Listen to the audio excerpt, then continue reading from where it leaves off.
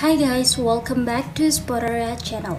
So today in this video I'm gonna show you how to screen recording in Infinix Note 12. But before we continue this video, as always I hope you like, comment and subscribe to support this channel and don't forget to hit the notifications bell. So without any further ado, let's get started. Well guys, firstly you just have to swipe down on your home screen like this until you will see this page.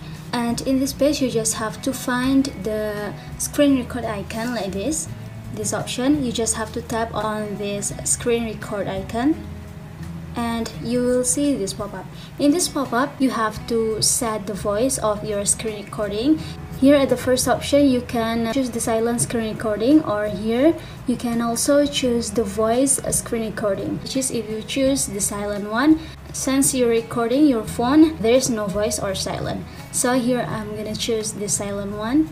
And after that, here I'm gonna tap on the start button here at the bottom of the pop-up. And now you can see here, it will count. And when you see the white circle with the red square on there, which is your start recording. So yeah, now if you're done, you just have to tap on the circle again, like this. And here you can see the notifications.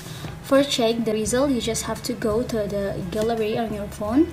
And now here go to the album.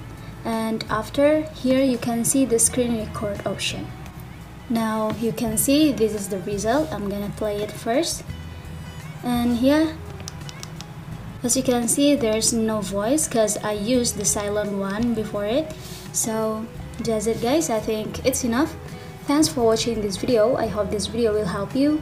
Don't forget to leave your comment in the column below. I'll see you soon on the next one and good luck!